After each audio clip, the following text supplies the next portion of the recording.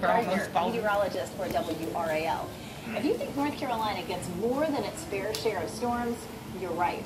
North Carolina is the fourth likeliest U.S. state to get hit by a hurricane. Why? Hurricanes generally follow this path. They form in the eastern Atlantic and move in a west-northwest direction across the tropics. When they get far enough north to be influenced by the jet stream, they curve north and then northeast. That bit of land sticking out in the Atlantic is the North Carolina coast. It's farther east than any point in Florida, Georgia, or the South Carolina coast, making us a storm target. But not every hurricane follows this exact path, not every storm gets and stays strong enough to qualify as a hurricane. Luckily, an increasingly sophisticated network of weather tracking devices can alert us to potential danger. In fact, I just got word of a newly formed storm. I'll update you on its progress, and you can help me track it using the touch screen below. Okay, go ahead and press day one. And this is Timothy Ringo of Force 13 US. We're going to have my niece Maria do a little storm tracking exercise with WRAL model, mock storm track. Let's see how she does.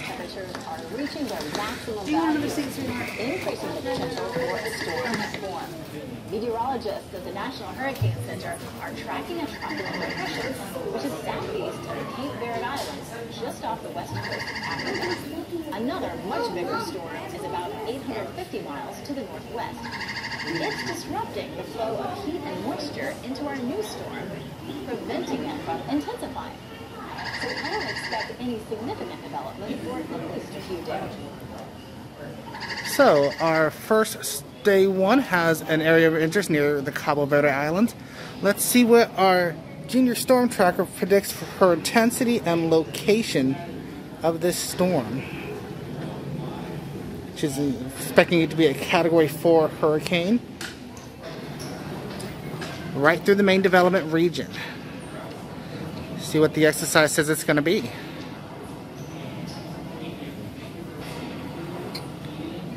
exercise forecast. She's pretty well nailed that on her on the day one. Day five of the exercise. tropical depression has been upgraded to a tropical storm, that it now has winds of more than 39 miles per hour.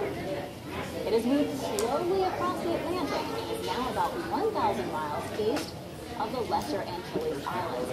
It could pick up some speed and strength now. All right. We now have a tropical depression in the main development region. Let's see what our junior storm tracker is going to pick for intensity and location. Anticipating it being a category 2, going just to the north of the Lesser Antilles. See what the exercise says it's going to do.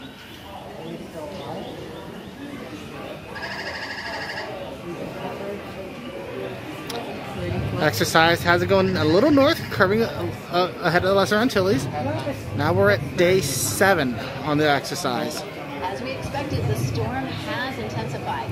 It's now officially a Category 1 hurricane. What is the definition of a hurricane? It's a storm with heavy rain and sustained winds of at least 74 miles per hour. Hurricanes are rated from 1 to 5, with 1 being the weakest and 5 the strongest. The hurricane we're watching has begun to move toward the northwest. It's about 150 miles northeast of the Leeward Islands. Do you think it will continue to move quickly and gather even more strength? Right, day seven forecast. What is our junior storm tracker going to do now that she has a Category 1 hurricane on her hands? She keeps it as a Category 1 and has it mo- moving towards the northwest. See what the exercise says it's going to do.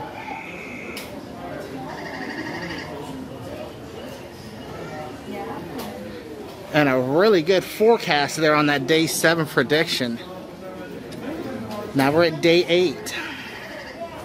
Surprisingly, the hurricane has weakened and has now been reclassified as a tropical storm.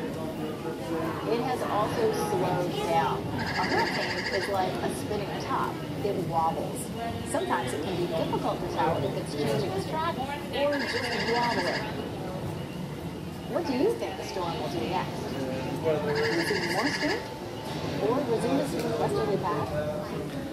All right, day eight. What's our junior storm tracker going to predict?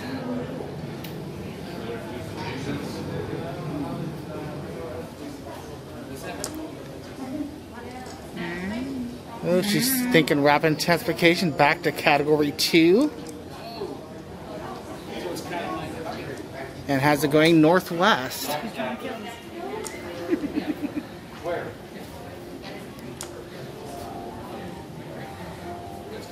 Uh, that projected path would take it out to sea, see what it actually does. It actually goes more west, so a big miss on that forecast. Let's see how she does on day 12. The storm has rebounded and then some, becoming more powerful than ever. It's now a Category 3 hurricane, capable of causing major damage. Even more alarming, it's close to the U.S. now, just 115 miles east of the Bahamas. One thing to look out for is the influence of the Bermuda High.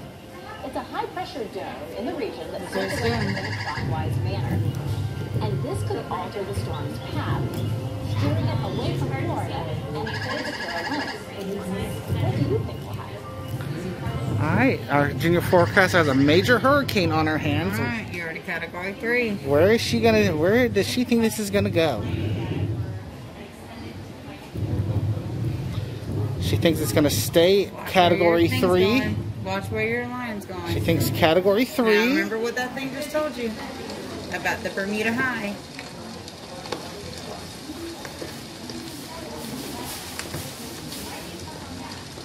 Okay. And she thinks it's gonna ride the ridge up the coastline. Let's see what the forecast shows.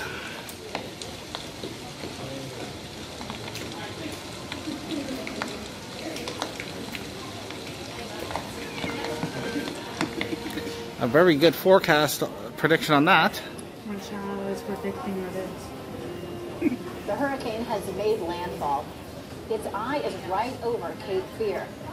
A low pressure system over Tennessee steered the storm on an even more northerly course than anticipated, putting North Carolina squarely in its path. The coast is being battered by high storm surge. There's heavy rain and flooding. Strong winds are uprooting trees and damaging homes.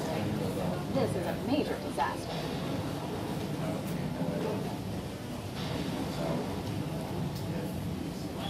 All right. We have imminent landfall. What does our storm tracker think it's going to do? It's right near the coast.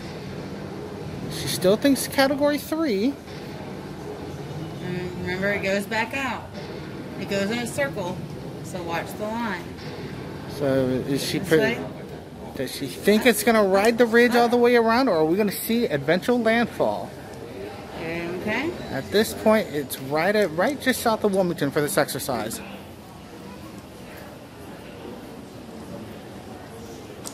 Oh, you mean? You just make it.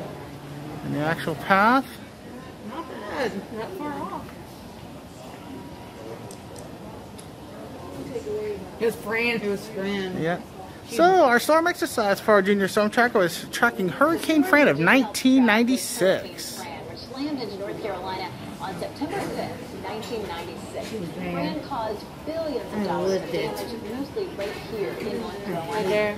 Lives Yep. were lost, Look, property Look down. destroyed, Look down. Private property damage, fish in the public property damage, farm damage, timber loss. Millions of gallons of raw And those are dollars. Billions Fran's impact was much more severe than expected. It was a category 3 storm, not a category 5 or even a 4. But it combined with strong winds saturated soil, resulting in many downed trees over 100 miles inland.